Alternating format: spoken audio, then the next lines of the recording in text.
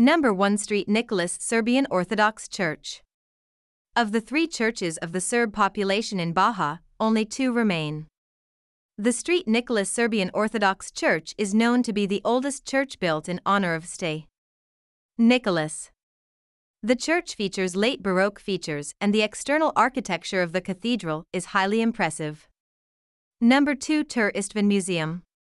The Türr Istvan Museum is home to a rich and kaleidoscopic variety of material, including works that depict how Baja was, as a city during prehistoric times all the way up to the Second World War. Here, you can learn more about the city's natural history, as well as the people who have lived on the banks of the river in the area. Number 3 Trinity Square.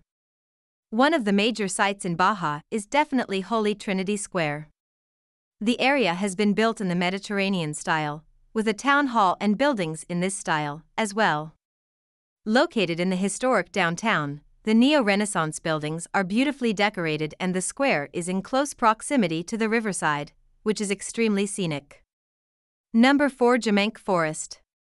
Visitors looking to do a day trip out of Baja can explore the option of going to Gemenc.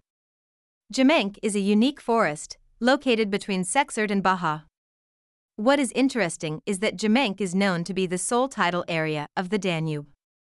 Lots of flora and fauna can be found in this area, including wildlife like stags, boars, storks, and meadow eagles. Number 5 Jelky Andras Sober Statue it does not take much effort to get a sighting of this prominent statue. As you walk along one of the busiest streets of Baja, specifically between roads 51 and 55, the crossroads of the city center, you will be able to spot the highly acclaimed statue of the Baja born tailor, Andras Jelky, standing on a globe, in the square named after him. Number 6 Baja Synagogue the Baja Synagogue is one of the most amazing monuments in the city of Baja, and the library of the town is situated inside this building. As the existing structure of the building was not able to be reshaped to fit a library, much of the original structure has been retained. The galleries of the original synagogue have also been preserved. Number 7 Demorcapu Temito. This is a cemetery in Baja, which was once neglected. This cemetery was then renovated by Georgeline Sibby and his family, making it a well-maintained place. After its renovation, Demorcapu Temito is now worth a visit for visitors when exploring the interior of the city. Number 8 Grassalkovich Castle. Grassalkovich Castle is a fabulous castle, known to be the recreation of the Grassalkovich Castle in Hatvan.